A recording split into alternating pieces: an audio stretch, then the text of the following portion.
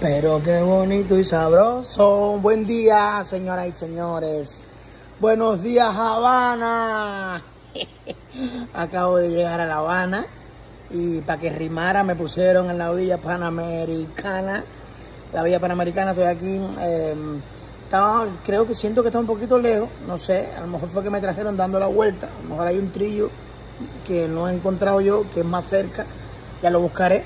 Así que ya saben, estoy por acá por La Habana. Eh, acabo de llegar del viaje que pudiera decirles, eh, bastante bueno. Mm, no pude dormir mucho porque me tocó al lado de la ventanilla y la Yutón estaba como esa ventanilla como desprendida y me parecía que en vez de una Yutón venía en una Girón. O sea que la Girón. Y ese no me dejó dormir mucho. Pero bueno, eh, bien, feliz de estar nuevamente acá en La Habana.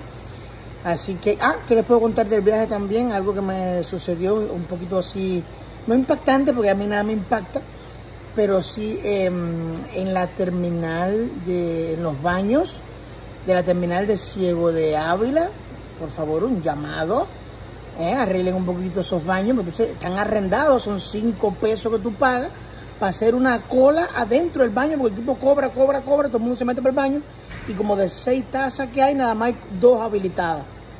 Entonces, como dos o tres, no sé, es decir, casi, casi ninguna sirve cerrada. Entonces tú tienes que estar adentro haciendo una cola para orinar. Después de haber pagado tus cinco pesos y después no hay ni agua para lavarse las manos ni nada, por favor.